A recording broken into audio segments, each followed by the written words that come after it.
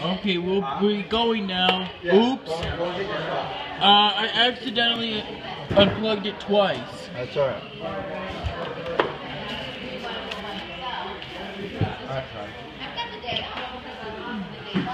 Huh?